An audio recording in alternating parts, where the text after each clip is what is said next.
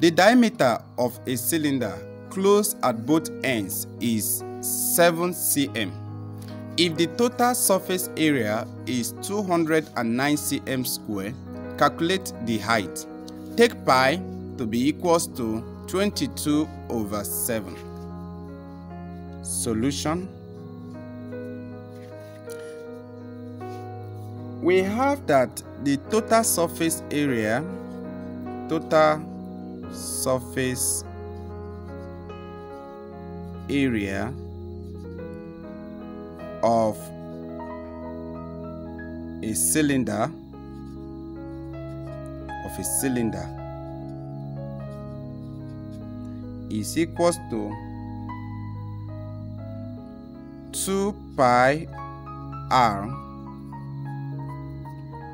into h plus r into h plus r. So let me write that. Maybe you didn't see that very well. 2 pi r into h plus r. So that is the area or surface area of a cylinder the total surface area of a cylinder. Now it is closed at both ends. So we actually derive to get to this place. Now from the question we are given that uh, the radius we are given the diameter not the radius. So our radius we know that radius is diameter divided by 2 so our diameter is 7 so 7 divided by 2 will give us uh, 3.5 3.5 so we have 3.5 here. Let me write that 3.5 so that is our radius. So we are going to substitute that into this formula. Now the total surface area total surface area of uh, the cylinder has been given to us to be 209 cm square. So substitute that. Total surface area 209 equals to our 2 value of pi 22 over 7 is given as well over 7 times our radius. We calculated we have 3.5 into our height we don't know. That is what we are looking for.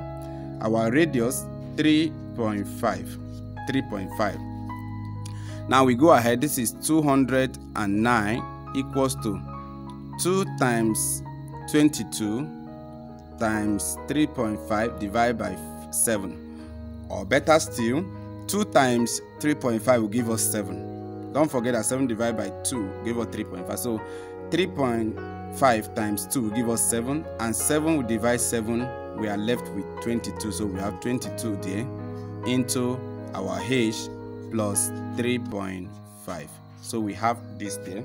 So we just clear this bracket. 209 is equals to 22 times h we have 22h plus 22 times 3.5 we have 77 we have 77 now we move this over to this side. We have 209 minus this positive minus 77 equals to 200 okay equals to 22h now we subtract this subtract 7 from 209 we have 132 which is equals to 22h if we divide both sides by 22 divide here by 22 so that this will take care of this we have this divided by this we have 22 okay we have 6 rather. We have 6 to be equals to h.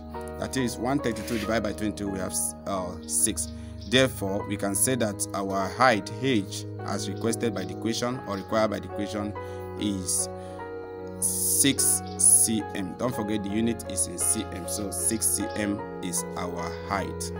So that is the answer to this question until we see you again in the second part of this question 13 please try and share this video so that the video will go around and those that need it will actually get it. Thank you very much. See you again in the next video